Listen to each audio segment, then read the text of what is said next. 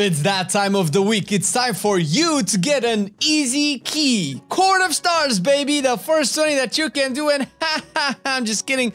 Well, maybe it is one of the easier dungeons to do, but you will still need to learn some mechanics, some routes, some things that will make the run smoother, easier, better loot for you, better loot for your party and your friends, or maybe the pugs that you dare go into. So in today's video, we will go over everything that you need to know for Court of Stars. And listen, if you like these guys, these videos, these are 100% sponsored by our Patreons, which are making this possible because uh, they do take a little bit of work. And uh, listen, it's not necessarily required, but if you do want to support these types of videos, plus everything else that goes on on Marcelian Online, consider checking the Patreon page down below we definitely, definitely appreciate it. It definitely helps us make even more of these guides in the future. Thank you very much. Of Stars, baby. The route here has several options, but we found that the straightforward one worked best for us. We also can give a perfect percentage route here as it depends very much on the buffs present in the dungeon and if they will allow you to skip some enforcers or not. So the route we made assumes you will have no enforcer skip buffs. If you can use such items, you can simply take the percentage elsewhere.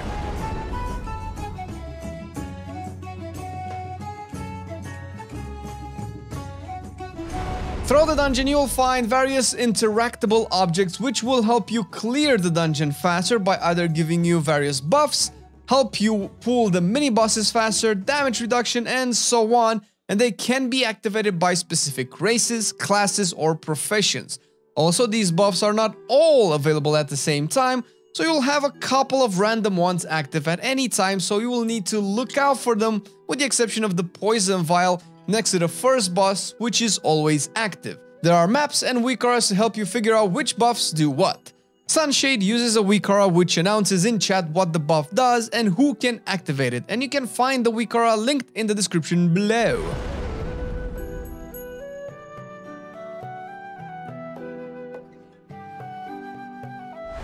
As you get off the boat in the moonlit landing, you will notice one Duskwatch guard protecting the entrance to the rest of the dungeon. You can either sap him and skip or invis if you wish, or if you don't have the classes or potions for this, you can grab him with you up the stairs to the next zone. His abilities are Quelling Strike, a frontal attack dealing damage and stunning players, and Fortification, a buff they cast on themselves to reduce damage taken and increase their haste. Luckily, you can purge this, and if you have a mage, it's best to let them enjoy the haste. Upstairs, you'll find a couple of packs with various mobs and an arcane beacon which you need to deactivate. Mana worms cast wild detonation when they die, leaving deadly swirls on the floor, so move out of these. The mana sabers leap with mana fang, dealing damage and leaving a dot on all players hit by the pounds which healers should dispel, and the sentry will try to run to the beacon and call for help with sound alarm.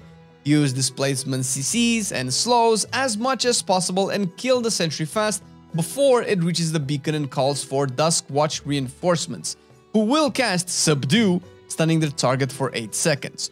If a beacon is activated by a sentry, you will no longer be able to deactivate it and other sentries will also be able to use it.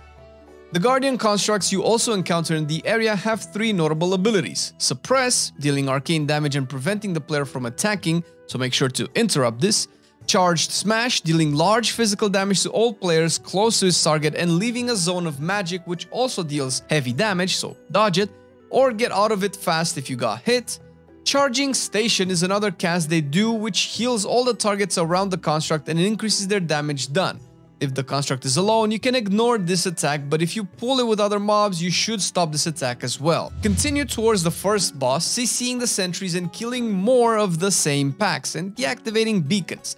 Here inside the room on the left, you can also find the first buff, if it's up that is, the Goblin slash Engineering Orb, which if activated will occasionally short circuit the constructs, reducing their damage done and occasionally stunning them. Some groups prefer to clear some packs at the docks as well, especially if they have a stealth class in their group who can skip the construct after the first boss and open the doors to the second boss area earlier. We prefer not to do this, however, as it only saves a small amount of time if the stealther is really quick, and there are no buffs which help you pull mini bosses without killing enforcers. The packs you encounter at the docks also have a Duskwatch Arcanist who casts a Nightfall Orb, bouncing arcane damage through your party. Seal Magic is their other attack, inflicting AoE damage and silencing players. Bound energies can also be found at the docks and they cast Charge Blast, inflicting arcane damage in the front line and knocking you back. You'll also encounter some of these mobs in the first boss room if you happen to pull some trash there, and arcane manifestations. They'll cast Drain Magic, inflicting AoE arcane damage to players and increasing their own damage dealt.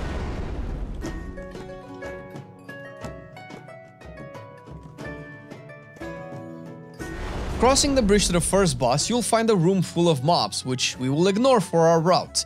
Here you will also find the vial in the center of the room, so send an alchemist or a rogue to poison it. Around the room there are also 3 beacons which you should deactivate unless you want to deal with his reinforcements during the fight. Vigilant Duskwatch, who will cast Hinder, stunning their target. Split your group and have them each go to a pillar. You'll need to be careful and wait for the patrols to move away before you get close enough to deactivate these. Mind Soothe is also a pretty useful spell to have here. Once all three pillars are inactive, you can pull the boss and make sure you do it when he is alone. The boss himself has three important abilities. Resonant Slash is an AoE cone attack which deals damage and stuns in front and behind him, and you should obviously dodge it. Your tank should also try to keep the boss facing the same direction as much as possible, and that direction should not be towards your ranged players. It's best to tank him close to the phial while the ranged chill near the bridge. This way, if the boss accidentally turns towards them, they can outrange the cone. Street Sweeper summons an orb which places an arcane line on the floor, dealing large amounts of damage. You should also dodge this, clearly.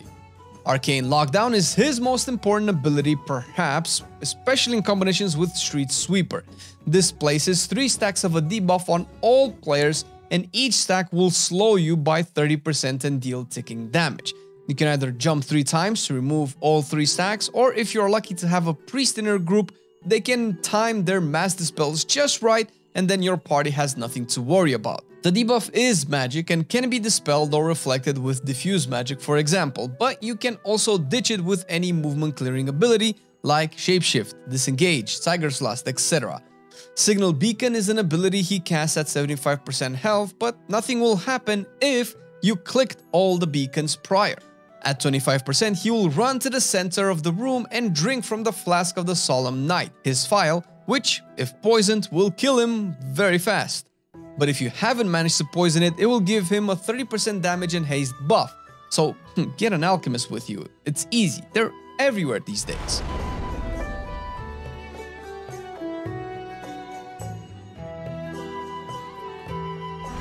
After the first boss, you can go up the stairs and pull the construct with you to have something to cleave along the way, but be careful with his frontals. As you come out of the other side, you will find the Watchful Inquisitor and a pack of Blazing Imps. And let me tell you, you really want to keep those imps CC'd.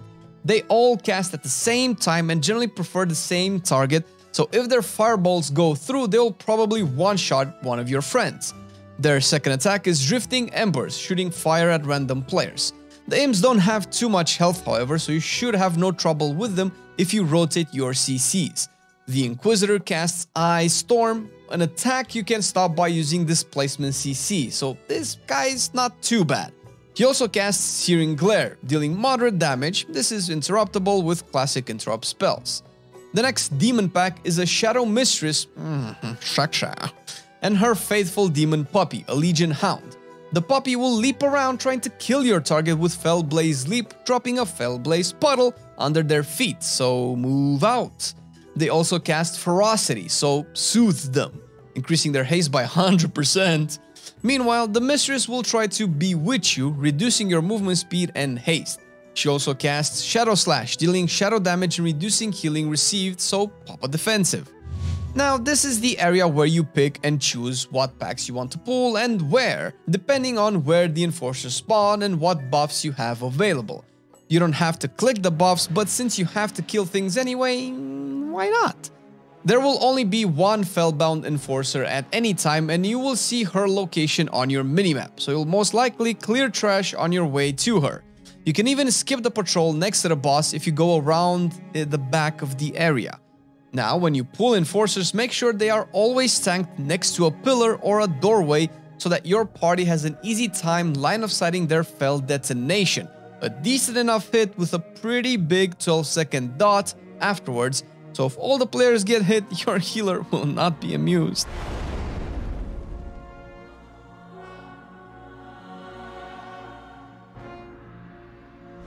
As soon as an enforcer dies, they cry out to the boss that you have infiltrated their court, and the boss sends one of her mini-bosses to inspect. So every time you kill an enforcer, a mini-boss will follow.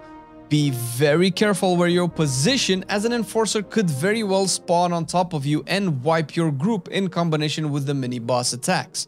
Also, if you die while fighting a mini-boss, it will count as if you are in boss combat and you won't be able to release and rejoin the fight. Also, be very careful to not tank the mini-bosses too close to the boss area, as they all have an aura they use to buff their mini-boss and boss friends, increasing their health and damage done by 100%, and these stack. So if you pull the boss with all three mini-bosses, you will not gain any time, as they will have loads of extra health, all their attacks will probably one-shot you and your party, and you won't be able to deal with all the mechanics together you'd think Sargeras would be a much bigger boss. The range of their buffs is pretty big, 70 yards, and you will wonder, why did it one-shot me? Let's see the abilities of each mini-boss. Imaku Tia? Um, I, am a Katya? Sounds like my high school. The lady has a lot of hands and a lot of blades. Her first ability is Whirling Blades. How shocking. She whirls around in a circle and deals damage to anyone inside it, leaving a bleed as well. Her second attack is Scream of Pain. This deals damage and silences for 5 seconds, so take care and stop your casts. Baalgar the Watchful has plenty of eyes to watch you with and casts Disintegration Beam, a cast which deals loads of damage if left uninterrupted, reduces the player's damage done and their movement speed. Impending Doom places dots on two targets which deal ticking damage and explode for AoE damage when they expire or get dispelled, so pop a defensive and move out of the group with this. Jazshariu is one I personally dislike the most. He does a crushing leap, jumping to a target and dealing damage, and knocking back players when landing, so dodge the swirly. Immediately after the leap, he will cast a Shockwave, pointed at wherever the tank is, but be very careful as he sometimes turns at the last moment and hits you where you should technically be safe and the shockwave is wider than you think, so exaggerate the movement a bit.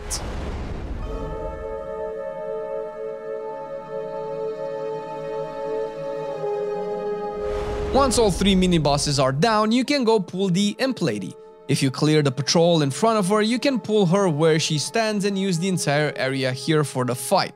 If the patrol is still active, however, pull her inside here. Lady Flamewreath has three important abilities. Burning Intensity, dealing pulsating AoE damage and increasing her fire damage done, Withering Soul, a debuff on your party reducing health and speed which you should rotate interrupts on, and Infernal Eruption, spawning fiery swirlies under your feet which will soon explode, dealing damage, knocking up players who stand in them and spawn imps, but we already know how to deal with these. Kill them quickly and don't let them cast. It's also best if your entire party stacks on your tank so that you can spawn all of the imps in the same location and zerg them down fast. There will be fire where the swirly spawned and the fire will hurt. So make sure to move away from it and not dash through it while trying to kill the imps. You will end up getting dead instead.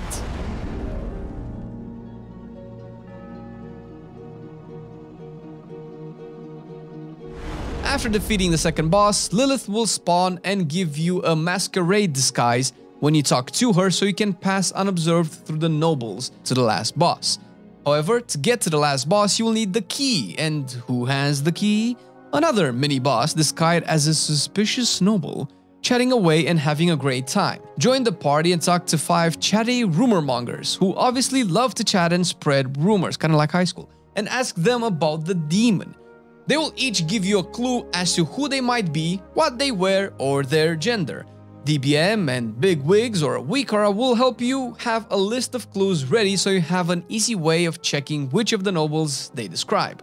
If you accuse the wrong one, you will get thrown out and receive a debuff which won't allow you to speak to one again for a short time.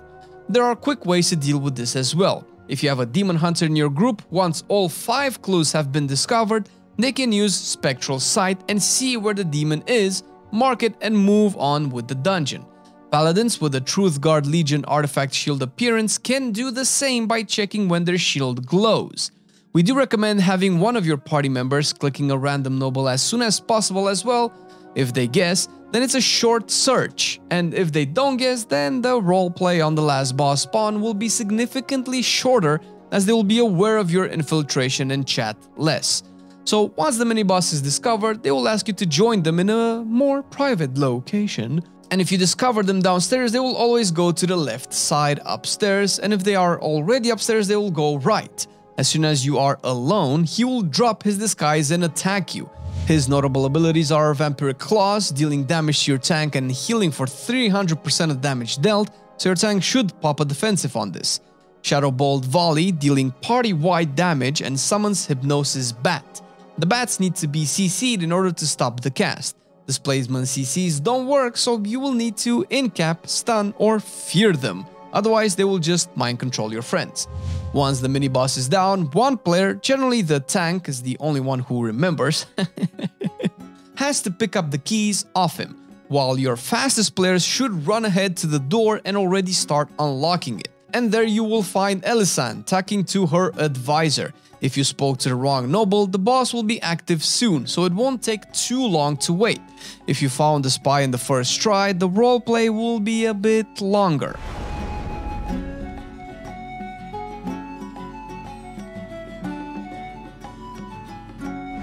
The boss is pretty tough on healing if the range players in the tank don't position well, so try to position yourself ahead of time for this one. His first attack is Blade Surge. He will charge to the furthest player dealing physical damage to anyone nearby and leave a bleed, so sidestep the swirly he spawns where he's going to dash and wait nearby. He'll also leave behind a clone image of himself in that spot. You should have one range player baiting this all the time while everyone else stacks in melee. Piercing Gale is his next attack and it's also position related. The boss will create arcane lines on the floor from his position to the position of his clones. So if all the clones are in the same spot and the tank keeps the boss on the same spot the entire fight, then you won't have much trouble dodging these lines. The clones also cast this, so the more stacked they are, the better. Enveloping winds spawn tornadoes which stun you, so dodge them. You can clear the room when a couple of them are up with an immunity or anti-magic shell. Slicing Maelstrom is an AoE attack he and his clones do, and it's reduced with distance, so stay away from him and definitely stay away from a bunch of stacked clones. He follows this attack with another Blade Surge, so position quickly if you wish to continue stacking them. And this is it, congratulations, you have cleared Court of Stars and you might have gotten your BiS Trinket or Ring, we all know those melee players. that are probably all of them all the time in Court of Stars. But you will still have a much easier time doing Court of Stars on no matter what key level if you do follow these steps. Thank you for watching the video and once again thank you patrons for supporting our content. Once again, this video series and everything else on our channel is supported by our Patreons who are graciously helping us create these awesome, awesome guys that for some reason just YouTube doesn't like and uh, it's not that popular. But I know you guys love them a lot and we are super grateful if you do decide to check our Patreon page and consider you know, getting maybe one of those tiers. You have a couple of goodies, some custom wallpapers, access to bloopers, Patreon talks, and uh, more. So thank you once again, and we will see you in the next one. Bye-bye!